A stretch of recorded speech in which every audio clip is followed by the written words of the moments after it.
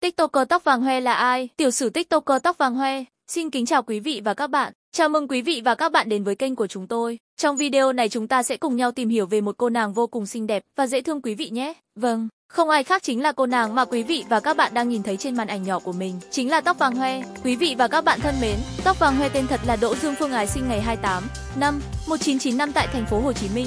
Cô là một hot TikToker nổi tiếng chuyên sáng tạo nội dung về ẩm thực. Cô là một trong những TikToker chuyên làm những video mukbang, giới thiệu về những món ăn ngon, độc và lạ. Những video của cô nàng xinh đẹp này khá đơn giản. Trong suốt clip, tóc vàng hoe sẽ ngồi thưởng thức món ăn và có lồng ghép âm thanh ASMR làm kích thích thị giác và thính giác của người xem. Hiện tại, kênh TikTok tóc vàng hoe của cô nàng đã sở hữu hơn 1,3 triệu lượt theo dõi và hơn 18 triệu lượt yêu thích. Ngoài ra, trang fanpage của cô nàng cũng sở hữu hơn 150.000 lượt theo dõi. Những năm gần đây, nền tảng TikTok đã phát triển với tốc độ vô cùng mạnh mẽ tại Việt Nam và nhiều quốc gia khác. Tuy nhiên, có một điều là khán giả Việt đã vô cùng ngán ngẩm trước việc nhiều hot TikToker sử dụng các hiệu hiệu ứng chỉnh sửa khuôn mặt qua đà. Vậy nên, nhiều TikToker khiến người hâm mộ sốc khi lộ nhan sắc thật của mình. Thế, nhưng cô nàng TikToker tóc vàng hoe đã khiến cư dân mạng bất ngờ khi tắt các hiệu ứng chỉnh sửa khuôn mặt để lộ khuôn mặt thật của mình.